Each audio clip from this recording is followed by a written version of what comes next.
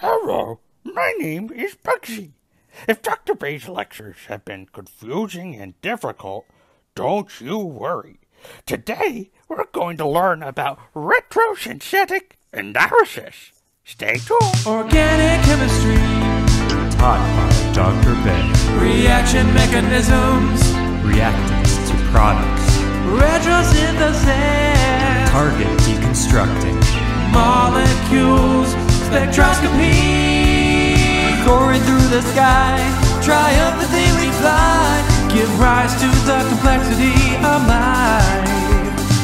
Living on a dream across the seven seas, learning about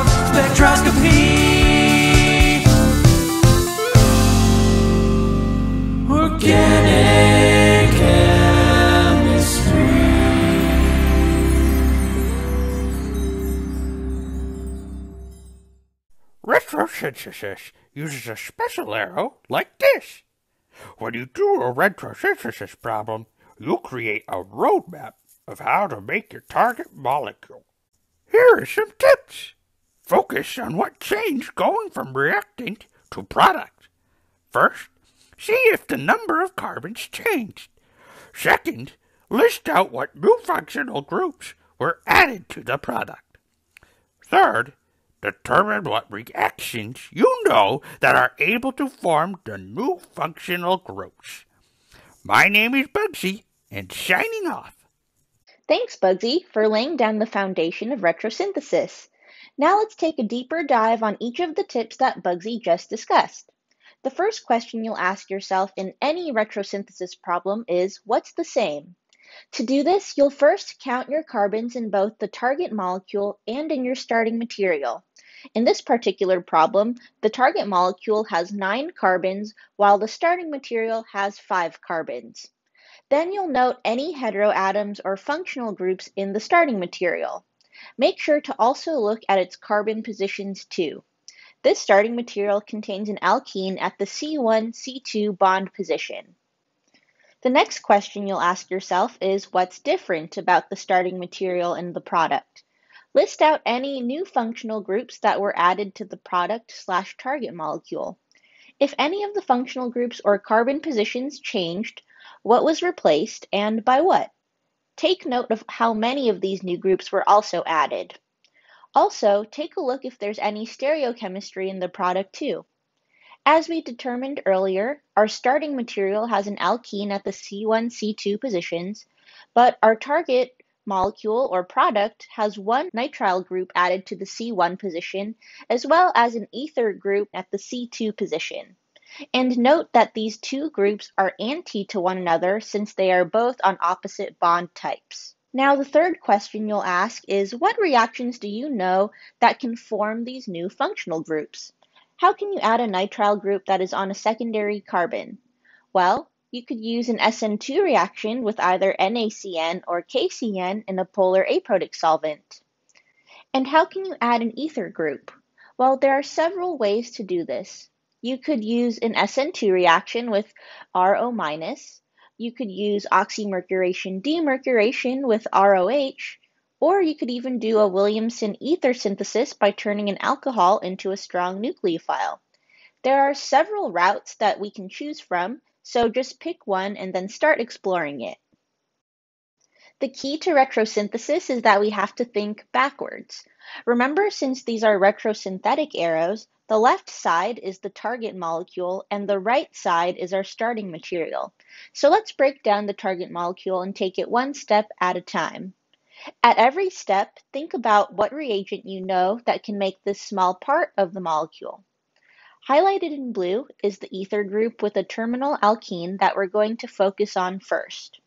We have to add an ether group at the C2 position, so let's do a Williamson ether synthesis to add the alkyl chain with a terminal alkene. In order to perform this reaction, we need an alcohol group at the same C2 position, but the stereochemistry shouldn't change.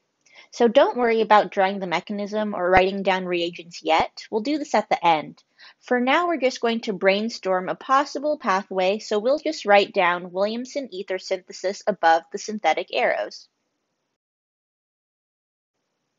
Now, continuing going backwards, we'll think about what the molecule looked like just one step before. So let's focus on this nitrile group highlighted in blue. In order to form the nitrile group and do an SN2 reaction with, let's say, NaCN, for example, we need a good leaving group in the step before.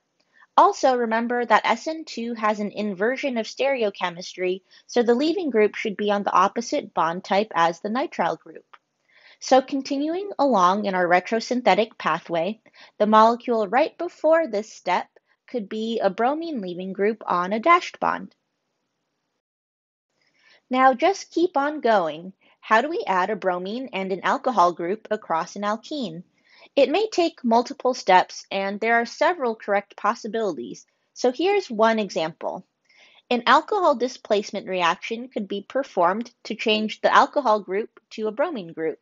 And then the step right before that could be an anti-diol formation across the alkene. Now let's test our retrosynthetic pathway by drawing out all of the reagents in the forward direction, which is what we're more used to seeing. So let's start off with our alkene, then use MCPBA in the first step to form the epoxide, and then H3O plus in the second step to form the anti-diol. Then alcohol displacement with one equivalent of HBr occurs where only one of the bad alcohol leaving groups changes to a bromine on an opposite bond type. This is why the bromine is on a dashed bond in this case. Then SN2 will occur and only the bromine will be displaced since the second alcohol group is a bad leaving group also, SN2 has an inversion of stereochemistry, so the nitrile group will add on an opposite bond type as well. Now from this intermediate, we can perform a Williamson ether synthesis where the first step uses a strong base to deprotonate the acidic hydrogen off of the alcohol group to form an O-, which is a strong nucleophile. Then in the second step, the O- can attack the alpha carbon of this alkyl group bromine leaves, and then we can form our product slash target molecule. So in summary, Bugsy's tips for retrosynthesis are first look at what's the same and what's different between your starting material and target molecule. To do this, you can count your carbons and list out any new functional groups that were added to the product. Then think about what reactions you know of that could form these new functional groups. Obviously, it's a lot easier being said than done, and retrosynthesis requires a lot of practice before you get the hang of it.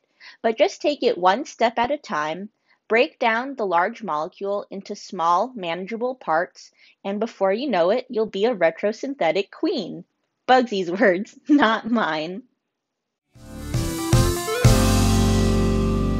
Organic.